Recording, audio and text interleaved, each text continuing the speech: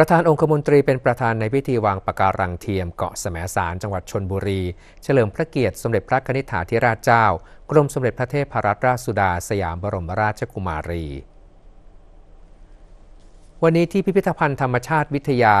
เกาะและทะเลไทยอำเภอสัตหีบ จังหวัดชนบุรีพลเอกสุรยุทธ์จุลานนท์ประธานองคมนตรี ในฐานะประธานกรรมการมูลนิธิ พิทักษ์อุทยานแห่งชาติเขาใหญ่ เป็นประธานในพิธีวางปะการังเทียม เฉลิมพระเกียรติ สมเด็จพระนิธิถาธิราชเจ้า กรมสมเด็จพระเทพรัตนราชสุดาสยามบรมราชกุมารี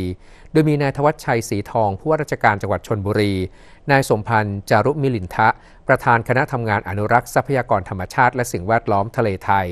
บุรณิธิพิทักษ์อุทยานแห่งชาติเขาใหญ่ และหน่วยงานภาครัฐภาคเอกชน จิตอาสาพระราชทานและหน่วยงานที่เกี่ยวข้องเข้าร่วม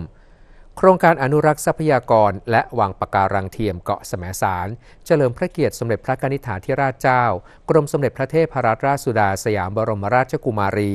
เป็นโครงการที่สนับสนุนการดำเนินงาน โครงการอนุรักษ์พันธุกรรมพืชอันเนื่องมาจากพระราชดำริ สมเด็จพระเทพรัตนราชสุดาสยามบรมราชกุมารี ซึ่งเป็นแหล่งเรียนรู้ที่สนองพระราชปณิธาน ในการอนุรักษ์ทรัพยากรธรรมชาติ และสร้างความสมดุลให้กับระบบนิเวศ รวมไปถึงการฟื้นฟูอนุรักษ์ความหลากหลายทางชีวภาพ ในแนวปะการัง บริเวณเกาะแสมสาร ให้เกิดความอุดมสมบูรณ์และยั่งยืน อีกทั้งเป็นการปลุกจิตสำนึกให้แก่เยาวชนและประชาชน ได้ตระหนักถึงการอนุรักษ์ทรัพยากรธรรมชาติ และสิ่งแวดล้อมจากนั้นประธานองคมนตรีและคณะเดินทางไปยังหน้าหาดเกาะแสมสาร ร่วมวางปะการังเทียม เพื่อสร้างบ้านให้ปลาในแนวปะการัง และร่วมปล่อยเต่าตนุ